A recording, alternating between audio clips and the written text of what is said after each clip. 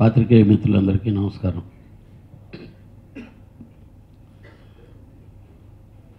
ఈరోజు ఈ టైంలో పైన ఉన్నటువంటి ఆ జయ చాలా ఆనందపడతా ఉంటుంది. తను డైరెక్టర్గా సినిమాలు చేయటం కంటే కూడా శివ డైరెక్టర్ అవ్వాలనేది ఆవిడ కోరిక. All the best Shiva. మీ అమ్మ కోరిక నెరవేర్చావు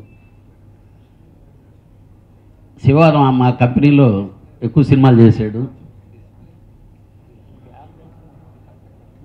చాలామంది అడావుడు చేస్తుంటారు ఇతను సైలెంట్గా తన పనేదో తను చేసుకుంటూ. ప్రొడ్యూసర్కి చాలా కంఫర్టబుల్ అయినటువంటి అసిస్టెంట్ డైరెక్టర్. ఏదన్నా ఊరికి వెళ్ళి పలానా లొకేషన్స్ ఇవి చూసుకురావాయంటే వాడు తెచ్చిచ్చే బిల్లులు వేరు ఉంటాయి ఇతను వెళ్తే చాలా ఇదిగా ఉంటుంది. అంటే ఫస్ట్ ఒక డైరెక్టర్కి ఒక ప్రొడక్షన్ మీద ఒక కంట్రోల్ ఉంటేనే ఈ రోజుల్లో జరుగుద్ది. వాళ్ళే ఎక్కువ సినిమాలు చేయగలుగుతున్నారు. బేసిక్గా ఇప్పుడు ఇంత ముందు మాట్లాడిన మా మారుతి. మారుతి ఈ రోజుల్లో సినిమా తీస్తే ఆ సినిమా చూసిన వాళ్ళందరూ ఈ లొకేషన్ ఎక్కడ తీశారు ఈ లొకేషన్ ఎక్కడ తీశారు అని చాలామంది డిస్కస్ చేసుకుంటుంటే మోహన్ బాబు ఇంటి ముందు ఉండే బ్రిడ్జ్ మీద అతను షాట్లు తీస్తే ఎక్కడ తీసేదని సినిమా ఇండస్ట్రీలో ఉన్న వాళ్ళకి చాలామంది తెలియల. ఇట్ ఈజ్ ద క్రియేషన్ మా శివాలో అలాంటివి చాలా ఉన్నాయి. ఇందాక అదే చెప్పా శివ నీకు కామన్గా ఈ రోజుల్లో అందరికీ సన్ స్ట్రోకులతో సినిమా ఇండస్ట్రీలో దెబ్బతినిపోతుంటాం. మా రాజుకు మాత్రం ఆ సన్ స్ట్రోక్ లేకుండా తనే నిర్మాతం తెచ్చుకొని ఫాదర్ స్ట్రోక్ లాగా వాళ్ళ నాన్నకి ఉద్యోగం ఇచ్చి అడ్వాన్స్ ఇచ్చాడు ఇట్ ఈజ్ వెరీ గ్రేట్ నాకు చాలా నమ్మకం ఉంది. చాలా తక్కువ టైంలో శివ చాలా పెద్ద సినిమాలు చేస్తాడు.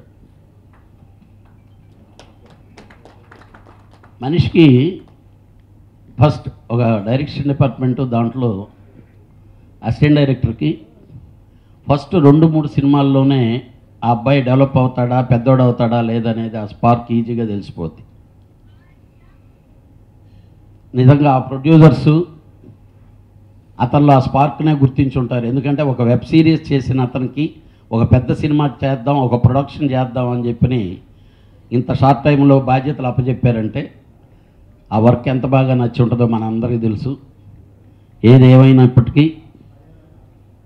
ఈ ఇరవై రెండో తారీఖు అనేది నీ జీవితంలో బాగా గుర్తుండిపోయి చాలా తొందరగా ఇరవై రెండు సినిమాలు క్రాస్ చేయాలని చెప్పి ముందు మనస్ఫూర్తిగా కోరుకుంటూ పెద్ద డైరెక్టర్ అవుతావు శివ నాకు నమ్మకం ఉంది. తర్వాత మేము ఎలాగా మీ దగ్గరకు వస్తుంటాం సినిమా తీయమని తర్వాత నువ్వు అలా వెళ్తుంటాం ఈయన కొడుకు అప్పుడు అన్నాడు కదా అలా అన్నాడు కదా అలా తిట్టాడు కదా ఇవన్నీ గుర్తొస్తుంటాయి. నువ్వు అలానే ఎదగాలని మనస్ఫూర్తిగా కోరుకుంటూ నువ్వు డేట్లు ఇవ్వకపోయినా నీ చుట్టూ నేను తిరుగుతుండాలని చెప్పి మనస్ఫూర్తిగా కోరుకుంటూ ఆల్ ది బెస్ట్. ఇది.